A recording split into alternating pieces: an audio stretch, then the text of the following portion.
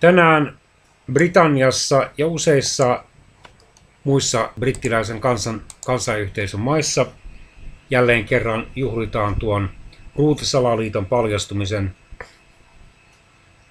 vuosipäivää, vaikka se tietysti äh, on Juliaanisen kalenterin mukaan, koska silloin vuonna 1605 Englanti ja Skotlanti käyttivät Juliaanista kalenteria.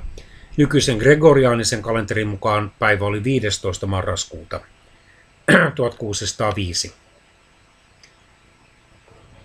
Se oli katolisen ryhmän vuonna 1605 toteuttama epäonnistunut yritys surmata Englannin kuningas Jaakko ensimmäinen, joka oli myöskin Skotlannin kuningas Jaakko VI, tämän perhe sekä parlamentin edustajat.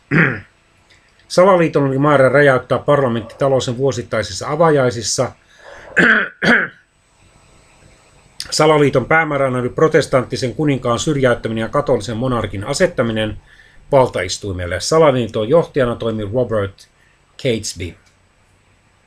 Katolilaiset olivat Englannissa uskonpuhdistuksen seurauksena vainottu uskontokunta ja esimerkiksi katolisena pappina toimiminen oli kuoleman rangaistuksen uhalla kielletty. Salaliiton taustalla oli pettymys siihen, että Jaakko ensimmäinen jatkoi katolilaisten vainoa.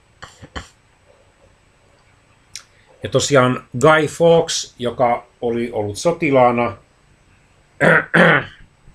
Alankomaissa ja Belgiassa – yritetään turhaan tukahduttaa sitä kapinaa.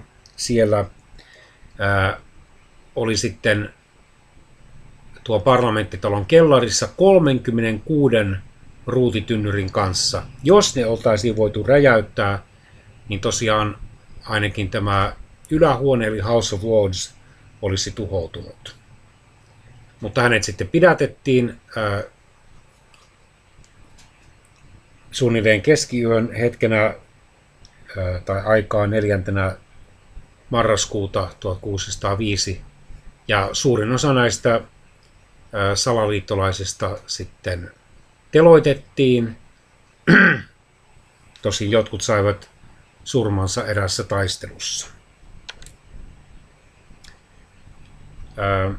Monissa kansanyhteisön maissa juhlitaan edelleen salaliiton epäonnistumista. Vuosittain Viidentenä marraskuuta polttamalla kokkoja ja ampumalla ilotulitteita. Juhla tunnetaan nimellä Kokkoyö tai Guy Fawkesin yö salaliittoon osallistuneen Guy Fawkesin mukaan.